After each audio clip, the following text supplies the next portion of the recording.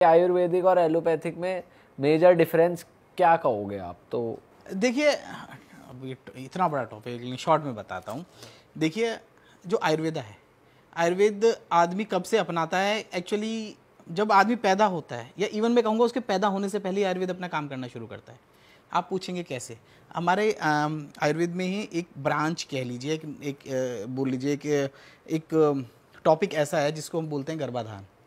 मतलब husband wife हैं उनकी शादी हो गई और they are planning for their baby तो आयुर्वेद में हमारा एक सेक्शन ऐसा है जो ये कहता है कि आपको एक अच्छी प्रोजेनी मिले एक अच्छा बेबी मिले तो उसके तो उसके लिए आप गर्भ संस्कार कीजिए.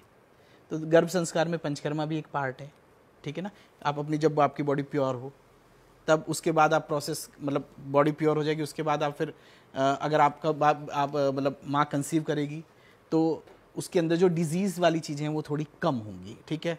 उससे पहले ऐसे भी बोले जाते हैं आप ये ये मंत्र पढ़िए। जब मदर प्रेग्नेंट हो जाती है तो कुछ मंत्र बोले गए होते हैं कि आप इन डेली मंत्रों को पढ़िए। इवन हवन भी बोले गए हैं उस गर्भा मंथ के हिसाब से कलर्स बताए गए हैं खिलौने बताए गए हैं। तो आयुर्वेद कब से काम कर रहा है? जब से बेबी आया नहीं है ठीक है?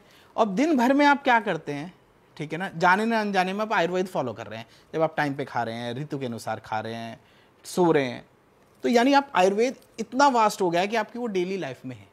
अब एक जो दूसरा साइंस है, जिसको हम कह सकते हैं एलोपैथी उसकी ज़रूरत आपको कब पड़ती है? जब आप सिर्फ़ बीमार हो रहे हो।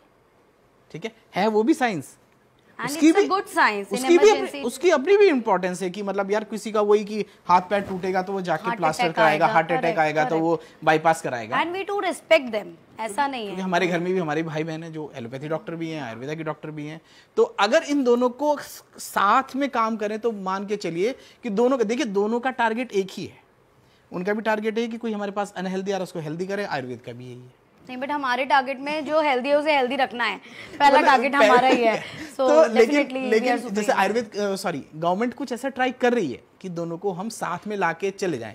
लेकिन दोनों की अपनी अपनी प्रॉब्लम्स हैं उसमें तो सर गुमराह ज़्यादा किया जाता है। देखो पहले सरप्रेस करी जाती है फिर बीमारी बाद में और बढ़ जाती एक्चुअली आप है। सोचो ना कि चाहे एलोपैथी हो चाहे आयुर्वेदिक हो जब नॉर्मल डिलीवरी होती है तो कैस्टर ऑयल का एनिमा देते हैं कि नहीं देते हैं? एनिमा वैसे अब तो सोडियम और उसका देते हैं। अदरवाइज़ आपने सुना होगा कि सेवैयों में दूध की सेवैयाँ बनाओ और उसमें दो चम्मच घी मिला के आज जाके पूछना मम्मियों से कि वो डिलीवरी में इंड्यूस करने के लिए पेन इंड्यूस करने के लिए देते हैं कि नहीं देते। एंड गर्भ संस्कार यार जब आप एक गाड़ी भी खरीदते हो ना तो पहले उसके खड़ी करने कर- की जगह देखते हो। रिसर्च करते हो रिसर्च कितने करते हो। कितना कितना है क्या है उसकी तैयारी करते हो? आप शादी करते हो तब भी तैयारी करते हो। एक शेरवानी खरीदते हो तब भी तैयारी करते हो। और जब आप बच्चा कर रहे हो तो सीधे गए हनीमून पे वहाँ पता नहीं कौन से स्थान पे गए पता नहीं वहाँ पे पहले उस होटल के नीचे कब्रस्तान था या क्या था। And you are conceiving that baby there तो डेफिनेटली उसका असर आएगा। आप लोग तो एस्ट्रोलॉजी पे इतना सारा काम करते हैं तो घूमने जाइए खूब जाइए मज़े कीजिए। लेकिन गर्भाधान एक ऐसे स्थान पे होना चाहिए जो पवित्र जैसा आपको बच्चा चाहिए ऐसा क्योंकि आपकी वजह से मतलब जो मम्मी पापा उनकी वजह से एक नई आइडेंटिटी आ रही है मतलब वर्ड में। तो उसके लिए तो आई थिंक कि आपको एक पूरी प्रिपरेशन करनी चाहिए। क्योंकि अगर उसके कुछ प्रॉब्लम हो गई तो वो जो होने वाला है वो उसको पूरी ज़िंदगी झेलने वाला है। सर ऐसे ये भी कहा जाता है कि आयुर्वेदा वैसे कंपैरेटिवली स्लो प्रोसेस है। उसमें आपका क्या टेक है? नहीं मैंने देखिए अभी हमने इससे पहले क्या बोला आयुर्वेदा तब से काम कर रहा है जब से आप पैदा भी नहीं हुए हो। तो फास्ट कौन सा हो और प्रकृति की रचना पहले हुई पुरुष के आने से पहले। तो मतलब ऐसे लेकिन ऐसे नहीं प्रकृति पहले बनी इंसान बाद में आया। प्रकृति में हर्ब्स पहले बनी तो भगवान ने तो पहले ही ये कर दिया इसको आप नकार नहीं सकते हैं। स्लो का इन द सेंस है कि अगर आप डिज़ीज़ हुई आपको मतलब एक लाइक डिज़ीज़ में बोलें कि आप सही टाइम पे आ रहे हो। मतलब ऐसे नहीं है जैसे हमारे पास मान के चलिए कैंसर के इतने पेशेंट आते हैं और वो आते कब हैं?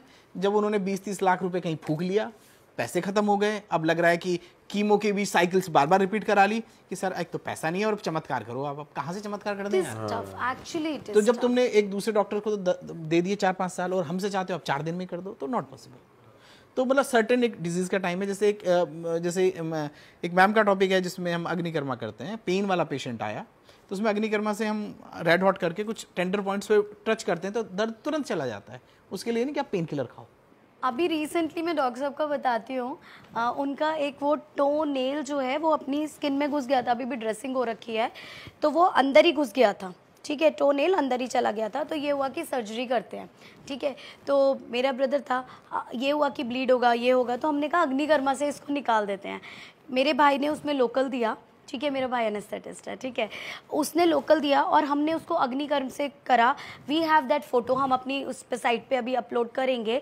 बहुत कम ब्लीडिंग हुई और वो टो नेल पूरा रिमूव हो गया एंड विद द अग्निकर्म। और कितनी देर लगी होगी परीक्षा? Fifteen 15 15 minutes and with bleeding के नाम पे कुछ भी नहीं था। तो मतलब प्रॉपर मेजर्स से। और instant pain man mole removal हम दो मिनट में कर देते हैं। हाँ वो आपने लास्ट टाइम भी mole removal plus pain management आप पेन के लिए आओ देर आर शलाका स्वर्ण शलाका गोल्ड की शलाका होती है। और क्या जल्दी चाहिए?